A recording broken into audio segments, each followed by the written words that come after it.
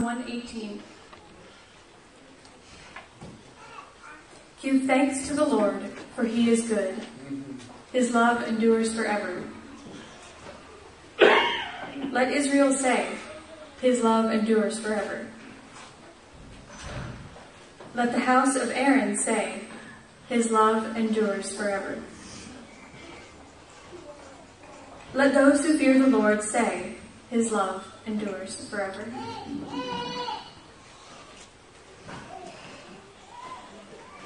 In my anguish I cried to the Lord, and he answered me by setting me free.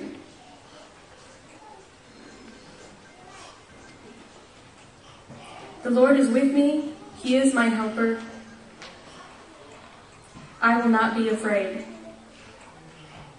What can man do to me? The Lord is with me. I will not be afraid. I will look on my enemies in triumph.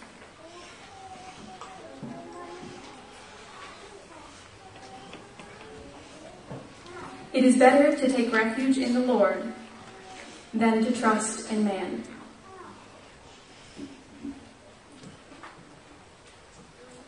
It is better to take refuge in the Lord than to trust in princes. All the nations surround me, but in the name of the Lord I cut them off.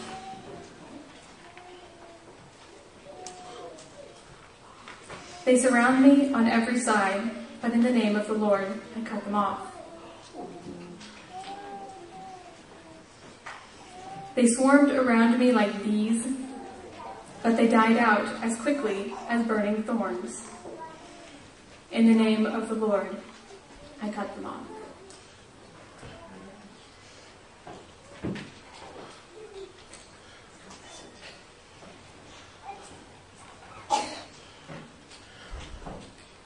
I was pushed back and about to fall.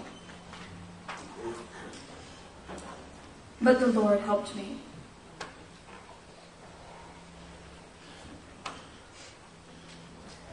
The Lord is my strength and my defender.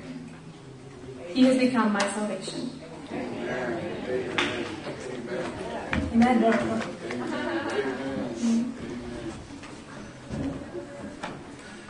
Amen. Thank you.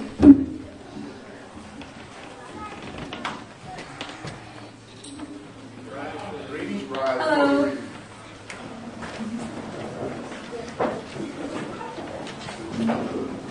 Willie and I have been friends since we were school. We've grown up together. I've known him for ages and ages. okay, so hey everybody. I'm reading from John 20, um, verses 1 through 18. Do you want me to go ahead and read? Okay, well, let's start. Okay, I'm nervous. Sorry, guys.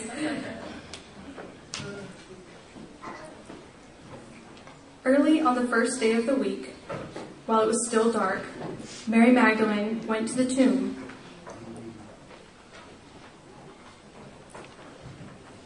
and she saw that the stone had been removed. So she came running to Simon Peter and the other disciple, the one Jesus loved.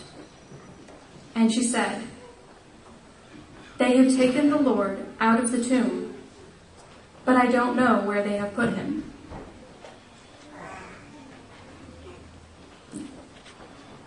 So Peter and the other disciple started for the tomb.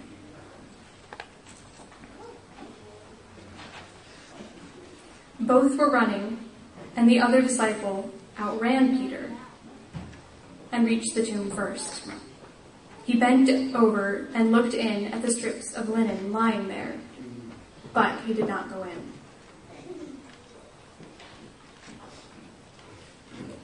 Then Simon Peter, who was behind him, arrived and went into the tomb. He saw the strips of linen lying there. Wait, I've lost my spot, hang on. um, where was I?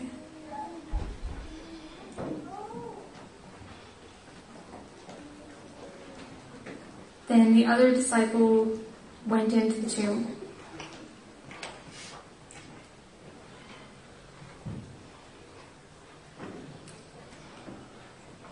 Saw the strips of linen lying there, as well as the burial cloth that had been around Jesus' head. The cloth was folded up by itself, separate from the linen. Finally, the other disciple reached the tomb first, also went inside. He saw and believed. They still did not understand from the scripture that Jesus had to rise from the dead. Then the disciples went back to their homes, but Mary stood outside the tomb crying. As she wept, she bent over to look in the tomb and saw two angels in white seated where Jesus' head had been, and the other at his foot. They asked her, Woman, why are you crying? She responded, They have taken my Lord away, and I don't know where they have put him. At this, she turned around and saw Jesus standing there. But she did not realize that it was Jesus.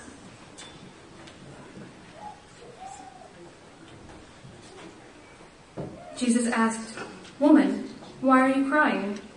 Who is it you are looking for? Thinking that he was a gardener, she said, Sir, if you have carried him away, tell me where you have put him, and I will get him.